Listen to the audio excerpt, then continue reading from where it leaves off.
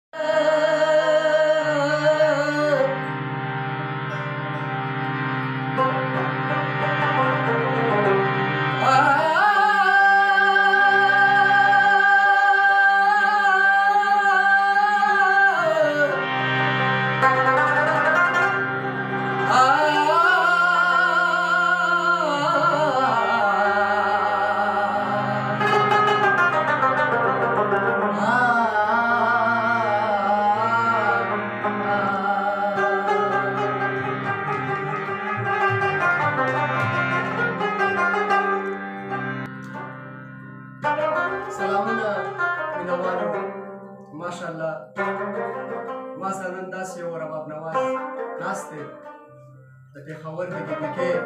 نامې ګرامي رباب نواز چې تاسو په ټي ویګانو په چینلو کې سره کې ګوري رحیم ګل ما سره ناست دی او چې د څومره تعریف وکړم هغومره کم دی ماشاءالله د ډېرې ښې کورنۍ او ډیر ښه راباب نواز مرګو د چینل ضرور سبسکرایب کړئ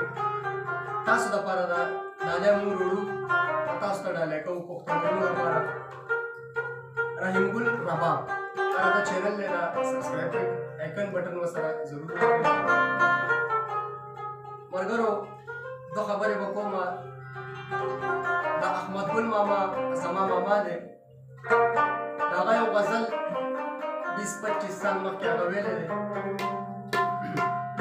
نه مې دلبر نه دینداري وکړه هسې مې د ژوند سره خواري وکړه او که سوچ وکړو دا ژوند موږ نه هم هسې روان دی د ماما غزل یم د احمد ګل ماما غزل نشم ویلی ځکه چې هغه یو ډېره لوی هستي ده